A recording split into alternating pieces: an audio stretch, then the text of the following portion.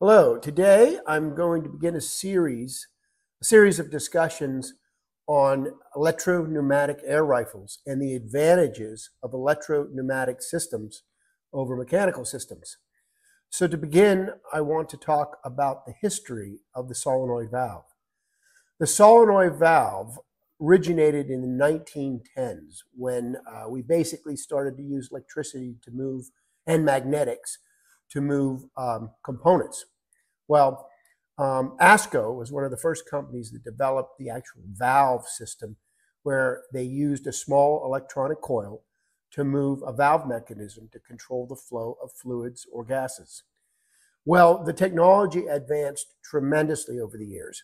Now the solenoid valve is used in almost everything. Cars, HV, HVAC systems, missile systems, absolutely amazing the use, and it's a very important part of today's technology.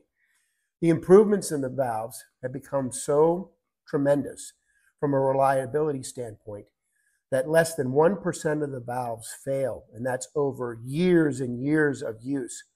On top of that, the valves are designed for millions and millions of cycles. This technology is one of the most perfected and one of the most reliable technologies in today's modern world.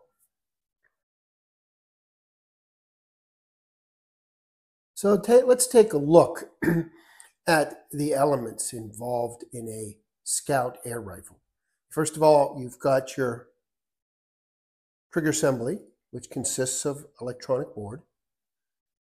You have your solenoid valve, which is the guts of what allows this gun to operate and adds to its tremendous reliability.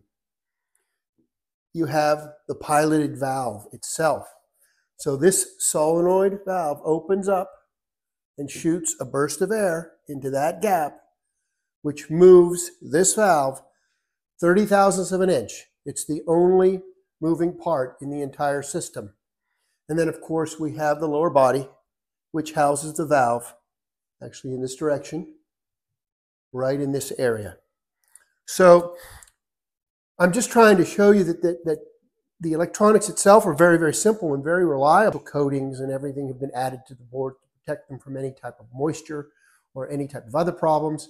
So a small electrical pulse goes from this board to that solenoid, opens that solenoid, pop burst of air goes into this gap, and that's what fires the gun. And it, um, the whole valve there only moves about 30 thousandths of an inch.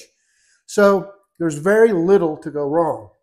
Now, if you were to compare this to a standard air rifle, this solenoid valve replaces the sears, the valve springs, the entire hammer mechanism, everything that, that basically there's probably about 14 to 15 components that are all replaced by this one valve. And those components, they have timing issues. What I mean is they have to be perfectly adjusted like a clock in the traditional mechanical system. Everything needs to be in, you know, adjusted perfectly, balanced perfectly.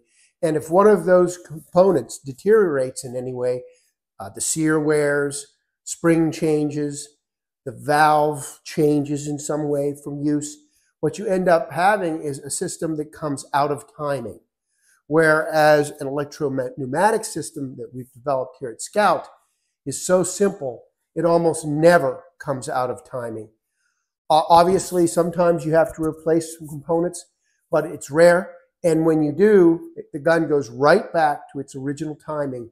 So it, there's not this variation.